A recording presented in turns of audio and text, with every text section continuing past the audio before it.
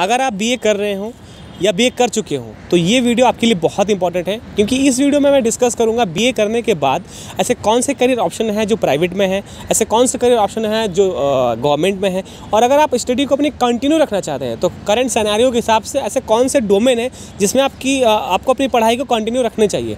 तो one by one मैं सारी चीज़ें क्लियर करूँगा वीडियो लास्ट तक देखें, और चलिए चलते हैं कंप्यूटर स्क्रीन पर, और मैं आपको सारी चीज़ें एक एक करके बताता हूँ।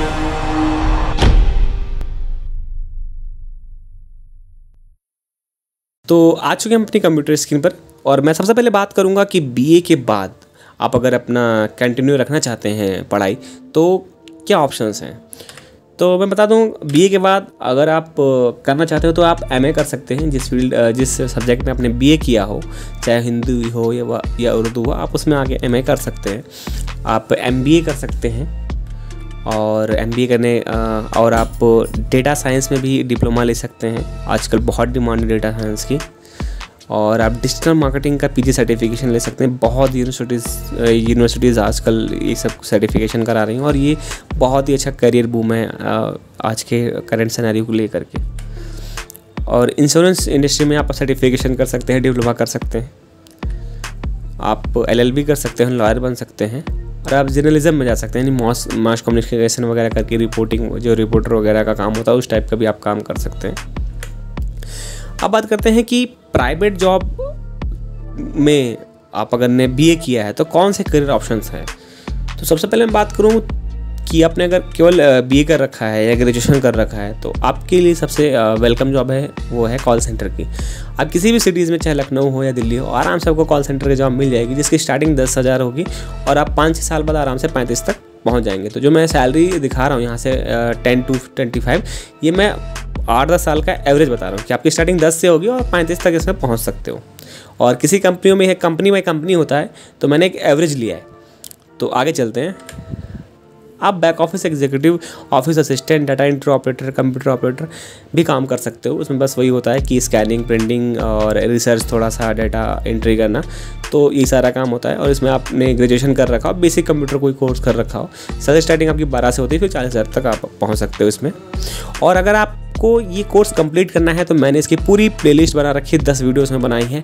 आपको पूरा अच्छा सा आइडिया मिल जाएगा। और अगर आपको पूरा कोर्स नहीं करना है तो उसकी जो इंट्रो वीडियो हो आप ज़रूर देखिएगा। मैं आपसे रिक्वेस्ट करता हूँ और आई बटन पर लिंक भी दे रहा हूँ। आप लोग वो इंट्रो वीडियो ज़रूर देखिए, उससे आपको आइडिया लग जाएगा बैक ऑफ़िस के बारे में, अगर जो लोग इसमें इंटरेस्टेड हैं तो।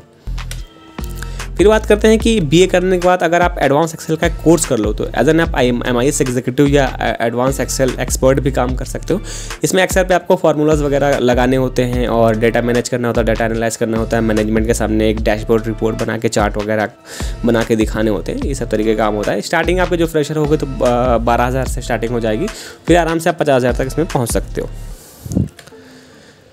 आप बी करने के बाद ग्राफिक डिज़ाइनिंग भी कर सकते हो। और बी करने के बाद आप कोई कोर्स कर लो, या डिप्लोमा कर लो, और आप ग्राफिक डिज़ाइनिंग कर सकते हो, जिसमें आपको लोगो लेआउट इलिस्ट्रेशन बनाना मैगजीन बनाना कैटलॉग ब्रॉशर पैकेजिंग तो इस तरीके का काम ग्राफिक डिज़ाइनिंग में होता है, और ये बहुत हाई डिमांड पे है। और इसकी जो सैलरी स्टार्टिंग है, वो बारह से है, और बाकी आप साठ, अस्सी, नब्बे तक पहुँच सकते हैं, क्योंकि क्रिएटिव फ़ील्ड है तो आपके अंदर क्रिएटिविटी अगर अच्छी है तो आप इसमें बहुत अच्छा पैसा कर सकते हो। फिर मैं बात करूँ डिजिटल मार्केटिंग की जो मैंने स्टार्टिंग में बताया, ये बहुत ही ज़्यादा बूम पे है और जिसको अगर अच्छे से डिजिटल मार्केटिंग आ गई, उसको तो कहीं काम करने की ज़रूरत ही नहीं है। लेकिन मैं अगर आप, मैं बताऊँ कि अगर आपको उसमें करियर बनाना है तो सीखो और सीखने के बाद पाँच छः साल कहीं काम करो तो आपको बहुत अच्छा नॉलेज हो जाएगा। तो यही है कि आप बीए करने के बाद कहीं से कोर्स से डिप्लोमा कर लें यानी स्टार्ट करें। आपकी स्टार्टिंग जो होती है, बारह हज़ार से हो जाएगी, आराम से नब्बे हज़ार, लाख तक भी पहुँच सकते हैं, क्योंकि मार्केटिंग फ़ील्ड है। आपको अगर रिस्पॉन्स अच्छा दोगे तो आपको सैलरीज में बहुत ही ज़्यादा मिलती है। फिर बात करते हैं सेल्स की, जिनको कंप्यूटर पर काम करना नहीं पसंद है मतलब उनको ज़्यादा ये बैक ऑफ़िस वाला काम नहीं पसंद है तो वो सेल्स जॉब कर सकते हैं। बस इसके अंदर आपको थोड़ा सा बोलने का टैलेंट हो, सामान को अपने बेचने का टैलेंट हो, लोगों को कन्विंस करने का टैलेंट हो तो आप कर सकते हैं। सेल्स जॉब में सैलरी तो आपकी होती है बारह से स्टार्ट और आप एक लाख तक जा सकते हो। साथ ही साथ इसमें इंसेंटिव बड़ा अच्छा होता है।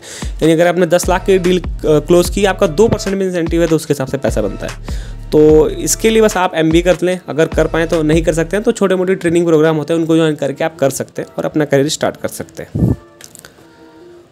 मार्केटिंग भी आप कर सकते हैं सेम ये सेल्स की तरह ही होती है बट उसमें मार्केटिंग में पूरी स्ट्रैटेजी बनती है, उस पर एनालिसिस होता है कि माल को किस तरह से मार्केट में बेचना है। तो सारा मार्केटिंग का काम होता है। और कैसे प्रमोट करना है अपने प्रोडक्ट और ब्रांड को। तो उसके लिए भी सेम आप अगर एम बी किए हों या कोई कहीं से आपने ट्रेनिंग वगैरह ले रखी हो और आपकी स्टार्टिंग उसमें पंद्रह से हो जाती है, फिर आप लाख तक आराम से जा सकते हैं।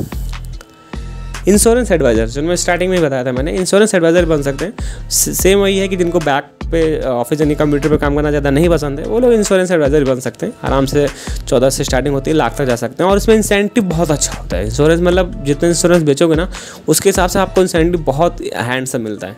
तो ये होता है इंश्योरेंस एडवाइज़र में। फिर बात करते हैं टीचिंग जॉब की। जिनको बच्चों से थोड़ा लगाव है और घुलना मिलना पसंद है, वो बीए के बाद अपना टीचिंग भी कर सकते हैं। वो उनके ऊपर डिपेंड करता है कि किस लेवल का उनको नॉलेज है या किस लेवल तक के बच्चों को वो पढ़ाने में कंफर्टेबल है। आराम से टीचिंग भी स्टार्ट कर सकते हैं। बारह से स्टार्ट होती है और साठ तक आराम से जाती है। अगर आप मेट्रो सिटीज़ की बात करो, जैसे लखनऊ या दिल्ली जैसे शहर में काम करेंगे तो। अब मैं आपको एक बोनस पॉइंट देता हूँ कि जो ये मैंने आपको सारी चीज़ें बताई जैसे मैंने इंश्योरेंस एडवाइज़र का बताया मार्केटिंग बताया सेल्स का बताया और डिजिटल मार्केटिंग बताया ग्राफिक डिज़ाइनिंग बताया एडवांस एक्सेल बताया, ये सारे कोर्स आप टोटली फ्री ऑफ़ कॉस्ट कर सकते हैं। मैं कुछ प्लेटफॉर्म आप लोगों के साथ शेयर कर रहा हूँ। तो ये कुछ प्लेटफॉर्म है, आप देख सकते हैं Shaw academy LinkedIn learning Naukri learning Google certificate Coursera you Udemy तो यहाँ से क्या है कि जो भी मैंने आपको प्रोफाइल्स बताई, आपको कहीं नहीं जाना है। यहाँ पे खोलना है रजिस्टर्ड करना है, बहुत सिंपल प्रोसेस होता है। उस कोर्स को सेलेक्ट करना है देन आपको कोर्स स्टार्ट कर देना है। कोर्स पूरा करना है प्रैक्टिस करनी है रिविज़न करना है और रिसर्च ज़्यादा ज़्यादा करनी है जहाँ पर आपके डाउट हो।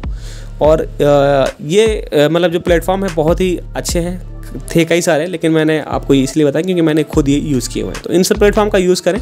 आपको वो सारे सर्टिफिकेट जो मैंने बताया कोर्स वो सारे से हम, आपको मिल जाएँगे टोटली फ्री ऑफ़ कॉस्ट अब बात करते हैं गवर्नमेंट की। तो गवर्नमेंट में ऐसा कोई रूल नहीं होता कि आपने बीए कर रखा है तो आपको हम किसी स्पेसिफिक फ़ील्ड तक लेंगे। बस इसमें होता है कि एनी स्ट्रीम इन ग्रेजुएशन यानी किसी भी स्ट्रीम से ग्रेजुएशन हो, बाकी फिर आपके जो कॉम्पिटेटिव एग्ज़ाम होते हैं, उसके ऊपर डिपेंड करता है कि उसमें आप कितना स्कोर करते हो, कितना अच्छा मार्क्स लाते हो। कुछ टेक्निकल होती हैं, जैसे इंजीनियरिंग की हो गई या कुछ टेक्निकल फ़ील्ड होती है, जहाँ पे आईटीआई या एम टेक बी टेक मांगते हैं, लेकिन ज़्यादातर एटी परसेंट केसेस में आप ग्रेजुएशन हो किसी फ़ील्ड से, आप किसी भी में कर सकते हो, आप लोग देख सकते हैं कि I I S I P S I F S R S S sorry I R S और इसमें एयरफोर्स का भी देख सकते हैं आप इंडियन पुलिस का भी आर्मी का भी देख सकते हैं नेवी का भी देख सकते हैं तो ऐसा कोई इसमें रिस्ट्रिक्शन नहीं होता है। तो ये पीपीटी मैं आप लोगों को डिस्क्रिप्शन लिंक में दे दूँगा, आप लोग डाउनलोड कर लें और यहाँ से इसको रिवाइज कर लें। तो ये कुछ बहुत ही छोटी छोटी चीज़ें थी जो मैंने आप लोगों के साथ शेयर की और आशा करता हूँ लोगों को पसंद आई होगी। अगर वीडियो आपको पसंद आई होगी प्लीज़ लाइक करिए फॉर मोटिवेशन और अगर कुछ क्वेश्चन हैं, आप कमेंट करके बताइए और चैनल को प्लीज़ सब्सक्राइब कर लीजिए। मैं ऐसा ही कंटेंट इस पर लाता रहता हूँ। और बहुत जल्द मिलते हैं नेक्स्ट वीडियो में।